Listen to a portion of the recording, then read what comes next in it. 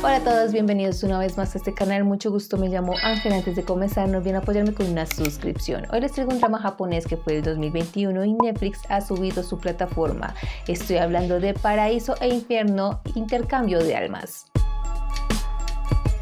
Este es un drama de tan solo 10 capítulos que tiene momentos cómicos y un misterio bastante interesante. Luego de que su alma se intercambia misteriosamente con la de un psicópata asesino en serie, una ambiciosa detective de Tokio ve su destino dar un imprevisible vuelco. Con el primer capítulo lo dudas, pero si le das una oportunidad vas a quedar impresionado con el giro de la trama. Ayako Mochizuki es una detective bastante comprometida con su trabajo que siempre está en búsqueda de justicia pero le falta flexibilidad. Ella investiga un caso de asesinato y toda la evidencia apunta a Haruto Hidaka como sospechoso. Al intentar arrestarlo, tienen un accidente con la luna llena de testigo. Al despertar, Hidaka le amenaza diciendo que podría ser arrestada por él aprovechando su cuerpo o puede evitarlo siempre y cuando ella le ayude a limpiar sus cargos. El asesino no quiere verse tras las rejas y menos que sus negocios familiares se vean manchados, así que la necesita. Ella al ayudarlo encuentra muchas pruebas que pueden llevarlo a la cárcel y darle la pena de muerte, pero luego cae en cuenta que es ella la que pagará esa pena. Mientras buscan evitar que la policía obtenga las pruebas, Hidaka hace una jugada inesperada para ella. Asesina a otra persona usando su cuerpo. Las historias que tienen que ver con intercambio de almas o de cuerpos tienen que estar bien ejecutadas y que sean bastante creíbles, si no serían un total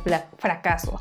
Afortunadamente este drama tiene una muy buena dirección en cuanto a actores y en general y el elenco de verdad que la tuvo súper clara en cuanto al cambio de roles, así que es, bastante interesante. Takahashi Issei interpreta a Haruto Hikada, un hombre bastante serio y muy misterioso considerado como sospechoso de asesinato. El cambio de rol de este actor fue el más notorio, pues a la hora de interpretar a la detective Ayako Mochizuki lo hizo demasiado increíble. Notas el cambio de género y personificó muy bien ambas caracterizaciones. En algunas escenas puedes notar un asesino descarado y en otras bastante cómicas te hace pensar que realmente la detective sí está dentro de ese cuerpo. Ayase Haruka interpreta a la detective Ayako Mochizuki. Habrá personas que les espere un poco su personaje tan persistente con la justicia, pero cuando cambia de rol y se convierte en Haruto Hidaka, vas a notar el cambio drástico y también vas a creer mucho que el asesino está dentro de su cuerpo. Esta mujer también nos dio una muy buena interpretación de ambos personajes. Los personajes de esta historia comparten una gran química y estos dos actores supieron interpretarla, le dieron profundidad a la dinámica. Este drama fue más que un cambio de cuerpo promedio,